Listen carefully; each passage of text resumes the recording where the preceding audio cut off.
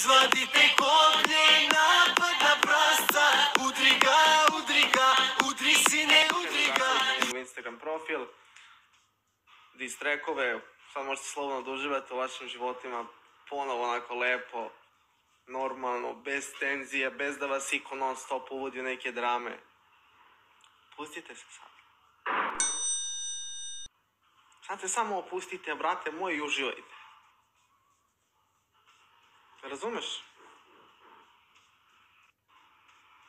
Pa idemo nađi Instagram ako možeš. A što se tiče distreka, da, ja lično. Evo ti, evo ti ovaj ako želiš.